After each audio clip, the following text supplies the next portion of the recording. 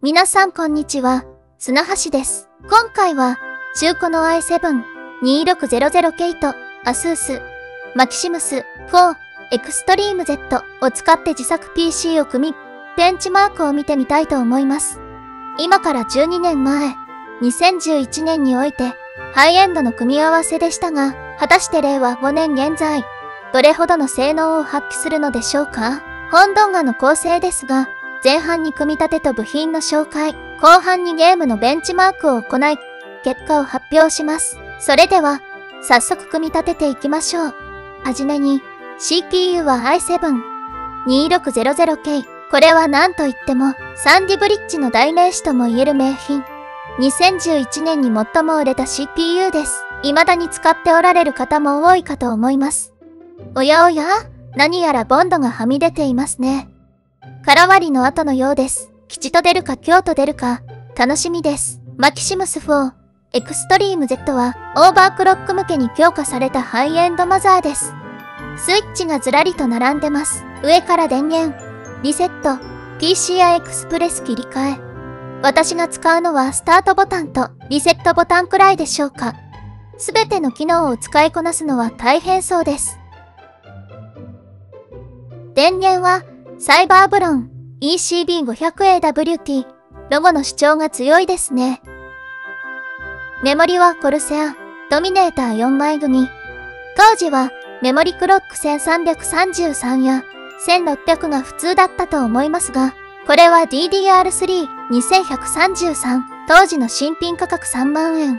ハイエンドメモリでございます。クーラーですが、エナーマックスの中古をつけようとしたところ、めっちゃメモリに当たりましたので変更します。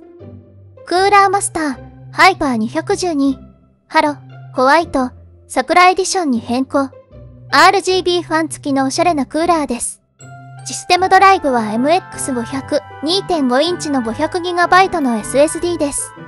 クリスタルディスクのスコア、最新の M.2SSD には全く及びませんが、5000円でこの性能が新品で買えるのは嬉しい限りです。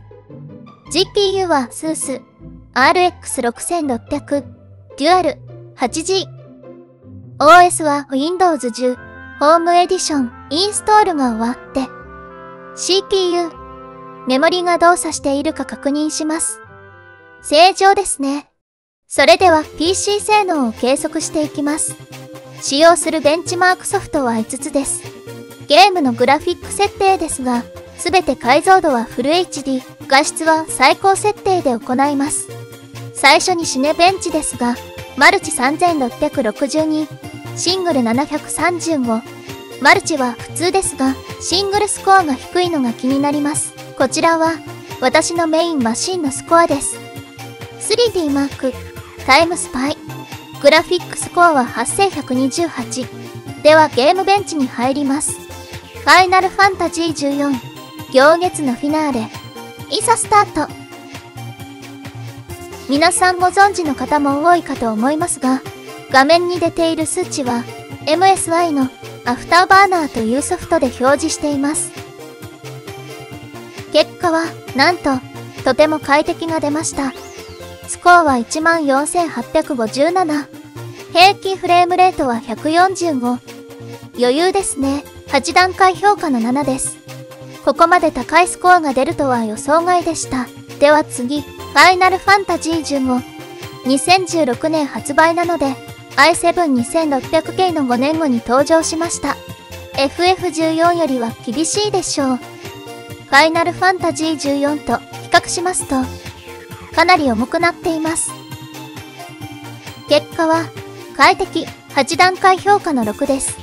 スコアは8318、平均フレームレートは90、GPU 使用率は、ほぼ常時99%でした。普通に遊べますね。思ったより悪くない結果で満足です。さあ、最後は、今年2023年発売の新作、バンダイナムコ、ブループロトコルです。12年前の CPU は、今年発売のゲームで通用するのか、行ってみましょう。こちらも GPU 使用率はほぼ99%。戦闘場面では 31fps まで低下が見られました。結果は、なんと、極めて快適。これは驚き、カクカクで動かないと予想していたんですけど、平均フレームレート87。最高評価を叩き出してくれました。お見事。結論として、サンディブリッジのハイエンド構成は、令和5年現在、FF14、FF15、ブループプロトコルの3タイトルで、3万程度の GPU で、フル HD なら普通に遊べることが分かりました。いかがでしたでしょうか？皆さんのパーツ選びの参考になれば幸いです。それではまたお会いしましょう。ご視聴ありがとうございました。ああ。忘れてた。エクストリーム使ってるんだからオーバークロック。しとかなきゃですね。BIOS で 4.2GHz と 4.6GHz があるので、4.6だけやってみます。シネベンチは4266ポイント。約15%アップです。温度は最大65度。当たり石だったようです。FF14 は最高評価いただきました。FF15 はスコアがほぼ同じ結果に、ブルプロトコルもあまり変わりません。オーバークロック前後のスコアをまとめると、このような結果となりました。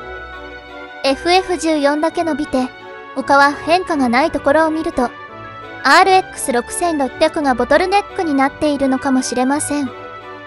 以上です。ご視聴ありがとうございました。